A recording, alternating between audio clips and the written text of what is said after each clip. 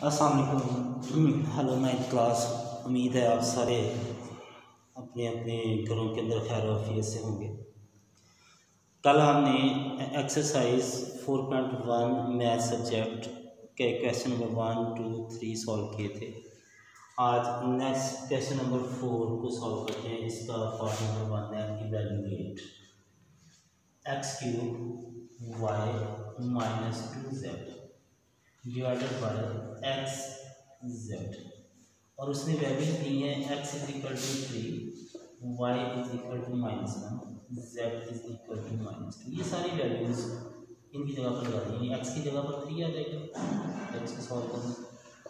जो पार है वो ऊपर आ जाएगा। वाई की जगह पर minus one to it is z की जगह पर माइनस इसी तरह नीचे एक्स की जगह पर थ्री आ गया और जेड की जगह पर माइनस टू थ्री का दिया three three are nine nine three are twenty seven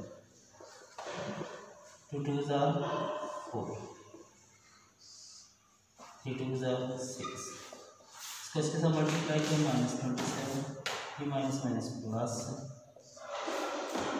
अब माइनस ट्वेंटी सेवन में से प्लस फोर निकाले तो ये आ गया minus twenty three over six ये आपका आंसर है। आगे इसको मज़ीद अगर सॉल्व करना है तो इसको पॉइंट्स में ले जाएँगे, इसको प्रॉपर फ्रैक्शन बनाना इसी तरह इसका बी पार्ट जो है वो सॉल्व करेंगे।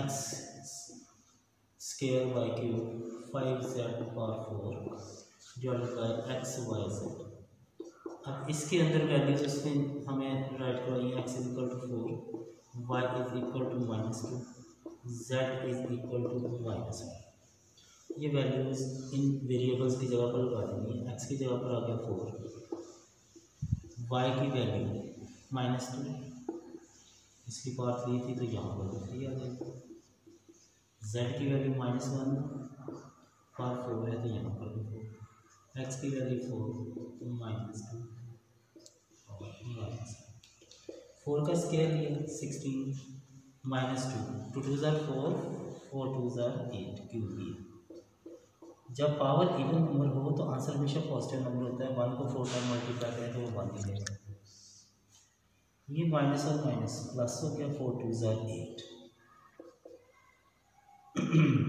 Sixteen eight are one twenty eight और ये फाइव अब दोनों के साथ सेम साइन है साइन यही रहेगी, दोनों वैल्यू ज़्यादा ये आपका answer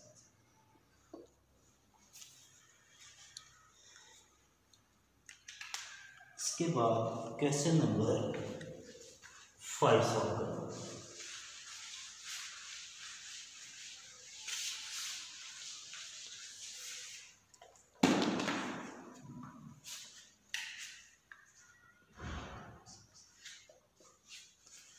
perform the indicated operation and simplify first fifteen divided by two x minus three four divided by three by minus two x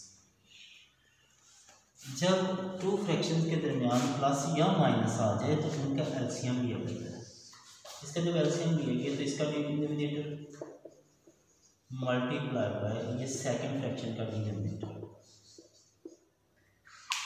इस न्यूमिनेटर को इस पर हमें डिवाइड करना है। तो ये value two x minus three y two x minus three y से कैंसिल ये आपका आंसर है, ये ऊपर मल्टीप्लाई हो जाएगा। इसका fifteen into three y minus two x इधर से ये वैल्यू जब इस, इसके साथ डिवाइड करेगी तो ये हिस्सा इसके साथ कैंसिल हो ये आपका आंसर है। ये ऊपर मल्टीप्लाई होगा four into two x minus three y fifteen three are forty five fifteen two are thirty same ऐसे फोर टू ज़ार एट ये बाहर माइनस है साइन भी चेंज कर दिए फोर थ्री ज़ार ट्वेल्व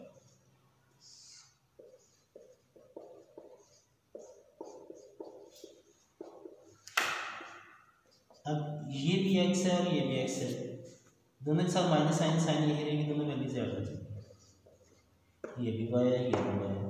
ये भी प्लस है, ये भी प्लस है। सेम साइन है साइन यही रहेगी, दोनों वैल्यू ज़्यादा होगी। तो ये बन गया fifty seven over 2x into 3y minus 2x next हमने क्या करना है? ये दोनों थर्टी एट और फिफ्टी सेवन नाइनटीन पर डिवाइडेड है। तो माइनस नाइनटीन हमने कहाँ देना?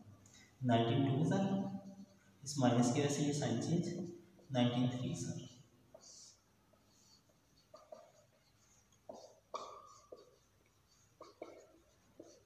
अब ये वाली वैल्यू इसके साथ कैंसिल बाकी है हमारा से कम किया। माइनस नाइनटीन और three by minus two x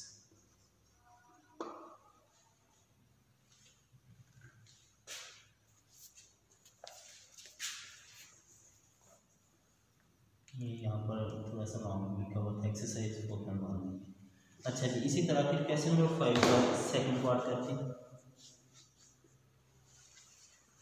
One plus two x over one minus two x one minus two x over one plus two x same ऐसे जैसे हमने ऊपर किया इन दोनों को ये एल्सियम लेते हैं। इसका denominator multiply by second fraction का डिनोमिनेटर इसका इस पर डिवाइड किया तो ये इतना हिस्सा इसके साथ कैंसिल ये आप पास है ये ऊपर मल्टीप्लाई अब ये सेम वैल्यूज़ हैं तो हम इसको ऐसे होल स्केयर डिवाइड कर सकते हैं।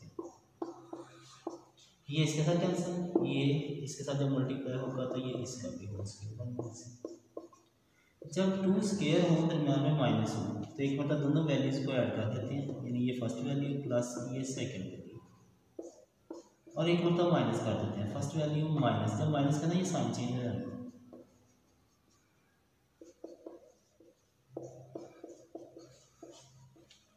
अब ये इसके साथ कैंसिल वन में वन होगा टू इधर से ये इसके साथ कैंसिल टू और टू एड होकर four x over one minus two x into one plus two x ये बन गया eight x over one minus two x one plus two x बाकी क्वेश्चन इसके करने की कोशिश करनी है। आपने खुद ये नोटबुक के ऊपर क्वेश्चन नंबर फाइव जो है, ये पूरा सॉल्व होना चाहिए।